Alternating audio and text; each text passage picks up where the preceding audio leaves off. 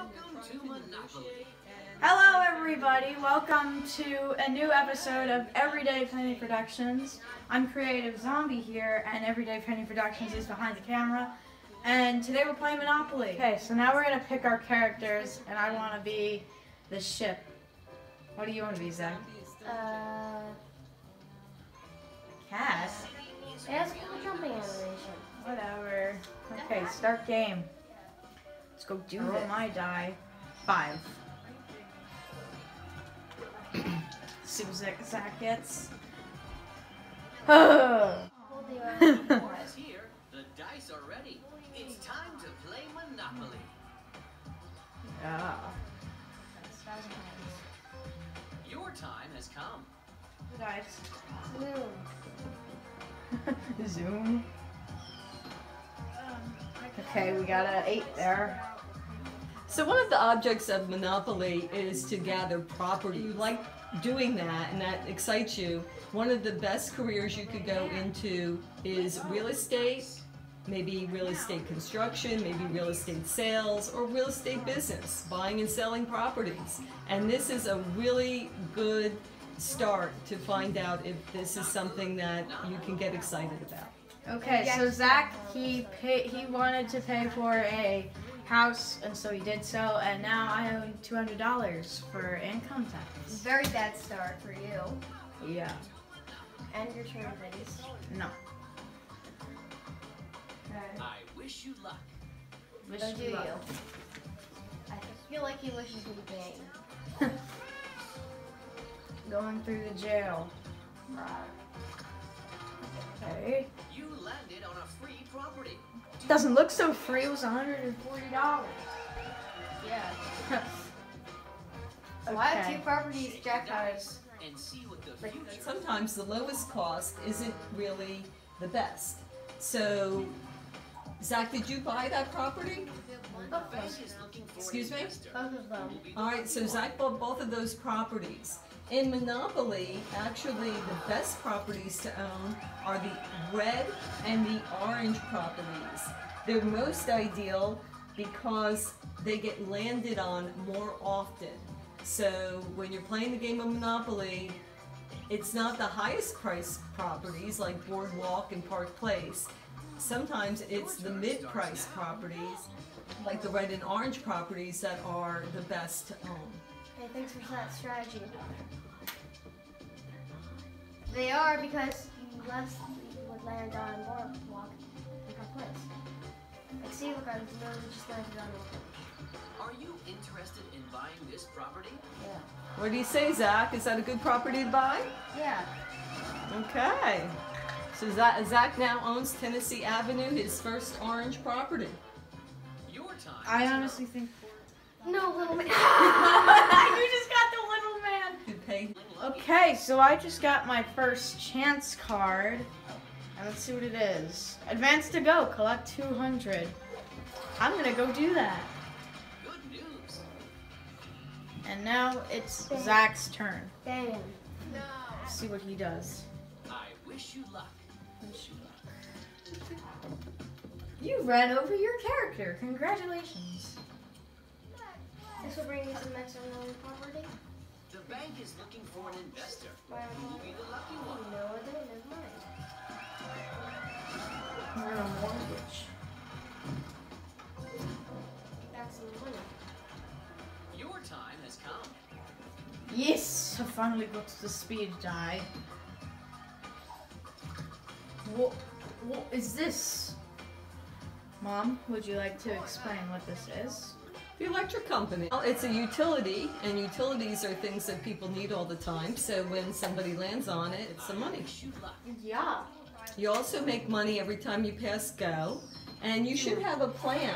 So you are rolling the dice in this game, but you should be prepared in advance for you know changes and options. So when you mortgage, that gives you the advantage of keeping money in your pocket instead of giving it to the bank for the property uh, at, at a large amount. So that gives you more options because that's exactly what money is. Tool That gives you more options in life and more choices to choose from because you'll have the money to pay for those. back to the action. Seven. New York Avenue. Are you interested? But that's expensive. Hmm. Mm, Okay. Twelve. This is this is the last one. So real estate. For my son. Purple is a pretty good set to have. Because if you get a hotel, you can have a rent of $750. That's a lot of dollars. I think I'm gonna build one house right here. Whoa. Now there's actually a house here and there's no longer at construction. Wow. And that's one that Jack would usually land on whenever we got to play any I don't remember not to Egypt. I just K O KO. Oh, they're in jail. Wait, what? What? Ah, are you kidding me? And there's a little criminal up on top of the building. No. Monopoly also teaches you to have relationships with others and to play fairly. So negotiating and playing fairly are great tools to have when you're older and in the business world. Also, auctioning is a big advantage to some. Oh wait, no, it's not. okay, The dice. Zach's turn. what the future holds for you. we got a ten double. Double means you get to go twice. If you get double again, you get to go again. If you get double again, you go to jail. Waterworks. I like waterworks. All right, so Zach also just bought Waterworks. Oh, he landed on Park Place. You can buy this property. We're not giving it to you. Not giving it to me. Nope. You're gonna have to. Now, Park Place is one of the more expensive properties, which also means it's more expensive to put uh, houses on and to build on. Mom thought I, bought it because looking for a He didn't want me to have it. So now he can't buy the property unless uh, I unmortgaged it. But that means I also, you also don't get money for it. Okay, when you mortgage a property, that means that you borrowed money from the bank uh, to pay for a uh, for a property, and that you're going to be making payments towards that property, usually on a monthly basis. The the bank will charge you interest to do this. Um, so in the long run, the property will cost you more money than the original price, but it is the best way for many people since properties are so expensive to get into being a property owner. yep. This is the place where we're gonna speed up.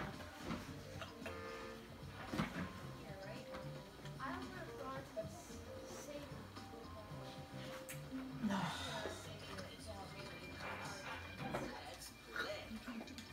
Let's play. he just got launched. oh yeah, that's the one that's high price.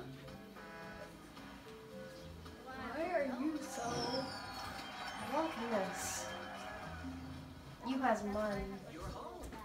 Okay, so I just got myself three hotels, and Zach does not stand a chance. I'm sorry, Zach. Ooh, and I got I got a got an achievement. Okay, let's see what Zach is gonna do. No, little man. you just got the little man. Oh wait, it doesn't count. Oh, you're lucky, dude. Also, I have some hotels. Yeah, well, motels. suck. He has motels, not hotels. I'm so much Same better, thing. Zach. Skipped it. Good. That's good. So owning Boardwalk and Park Place is not always how you win at Monopoly. You win by making the most money. In investing, you win by buying low and selling high. Focusing on the most expensive assets, our odds are you are overpaying, setting yourself up for losses. So you have to concentrate on your cash flow and what would be the best move. Always keep cash on hand, be patient, and have a game plan. Focus on the cash flow. Those who win at Monopoly and investing focus on the value gained more than the price paid. Play on. All right. Come on, Zach, roll. Let's go. Zoom. Uh, not doubles. You gotta stay in there again. Yeah, Sorry. which is good because that means I won't be able to pay for your hotels. Oh. The longer Okay. I'm in here, the better. Well, bye. You just zoomed I right just through. zoomed through. Wait, you literally could fit through the bars. So that means you can. Here's my hotel. Five stars, guys. Thousand Pay for it. dollars. Oh my god, it's a thousand dollars rent. Wow. Okay. Um, I think I'm actually my orange green. and red are the best ones. Where's my green color set? There it is. On. You're not even clicking on me. I'm trying. And does anyone else um, that's watching this think that this game is cool? I think it's well done. Like really. Jack, if you land on my one of my properties, and if I land on one of your properties, either one of us are pretty much. I'm at 21 bucks. I feel good about it for I some can't see reason. what the other one is. Sorry, dude. Yes, I you have seven. to pay 50. And I and I get seven going out. No! Man, you could have died there. Well, not died. Advance to go. Aww. Yes, safety. I need that money right now. Enclosure. I literally skipped all that. You took a risk there, Jack. So let's see how that goes with your cash flow. Mm. And your cash flow's a little Hurt. wanting and Oh, hurting God. at the moment. Yay, you hit mine. That means you have to pay me 90 bucks. 90 bucks and you don't even have that much money. It, you're the one who has hotels. Another good good part of advice for playing the game of Monopoly and also in life is not to put your eggs all in one basket. I What does that mean? means.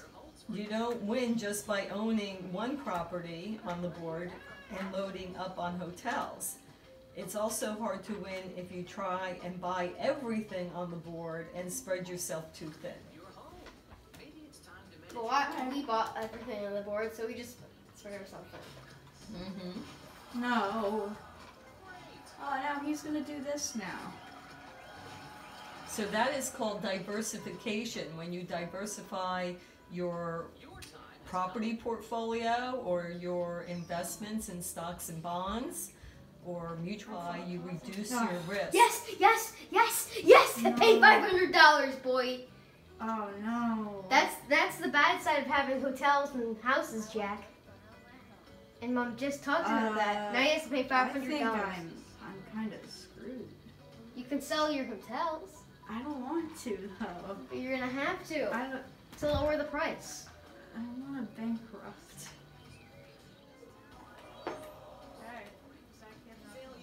I won. I have 15 properties, nine houses, and two hotels. Whoa. We were playing for an hour. Wow. Okay. That was a good now, game. All right. So that was a good game. I think we can end this video here. Just to wrap up, Monopoly is just a game and shouldn't be taken as a thorough education in finance and investing. However, it has some valuable lessons to teach. 1. Spread yourself out and diversify your properties or assets to reduce your risk. 2. Keep cash on hand. 3. Focus on cash flow. Use mortgaging to your advantage. 4. Be patient. 5. Pay attention to your spending and spend smart. Thank you for joining us.